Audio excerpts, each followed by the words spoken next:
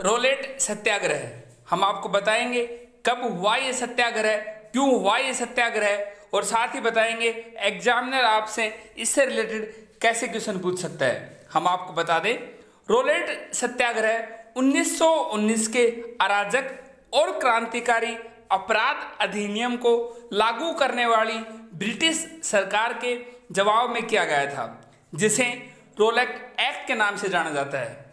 इस अधिनियम ने सरकार को, राजनीतिक गतिविधियों को दबाने के लिए अधिकार प्रदान किए और दो साल तक बिना किसी मुकदमे के राजनीतिक यानी पॉलिटिकल प्रिजनर को हिरासत में रखने की अनुमति दी। इसलिए हुआ था रोलेट सत्याग्रह 1919 में। हम आपको बता दें, एग्जामिनर आपसे पूछेगा, रोलेट रोलेट सत्याग्रह कब हुआ?